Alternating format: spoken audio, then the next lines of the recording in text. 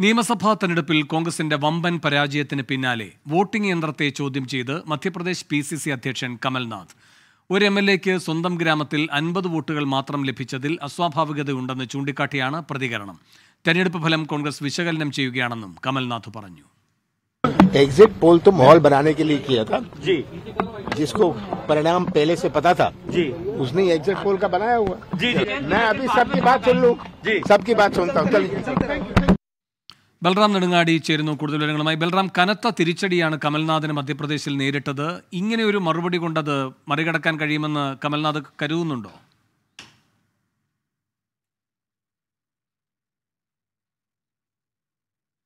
ബൽറാം നെടുങ്ങാടി അല്പസമയത്തിനകം ചേരും. മധ്യപ്രദേശിൽ വലിയ തിരിച്ചടിയാണ് കോൺഗ്രസിനെ നേരിട്ടത്. കമൽനാഥിന്റെ നേതൃത്വത്തിലാണ് മധ്യപ്രദേശിൽ ജനവിധി തേടിയത് കോൺഗ്രസ്. എന്നാൽ മൂന്നിൽ രണ്ട് ഭൂരിപക്ഷത്തോടെ ബി ജെ പി അധികാരം നിലനിർത്തുകയായിരുന്നു. വലിയ തിരിച്ചടിയാണ് കമൽനാഥിനെ നേരിട്ടത്. ഈ ഘട്ടത്തിലാണ് വിചിത്രമായൊരു പ്രതികരണം അദ്ദേഹം നടത്തിയിരിക്കുന്നത്. ബൽറാം നെടുങ്ങാടി ചേരുന്നു. ബൽറാം ഈ പ്രതികരണത്തിലൂടെ പരാജയത്തിന്റെ ആഘാതം കുറയ്ക്കാൻ കഴിയുമെന്ന് കരുതുന്നുണ്ടോ കമൽനാഥ്?